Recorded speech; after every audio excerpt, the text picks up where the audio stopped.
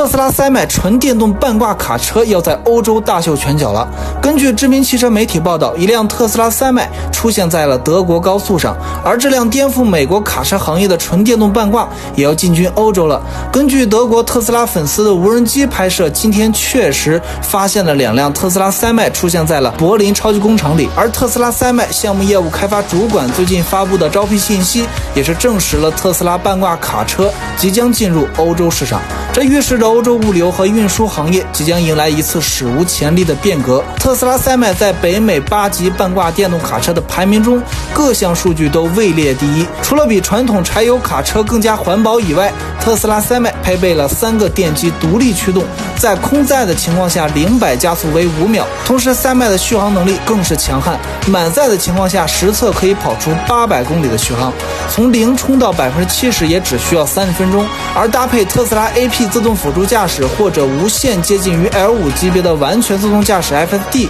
让司机在长途驾驶中毫不费力，也大大的增加了驾驶安全。特斯拉塞迈如果能在欧洲上市，那么进入国内市场也不远了。我们也是拭目以待。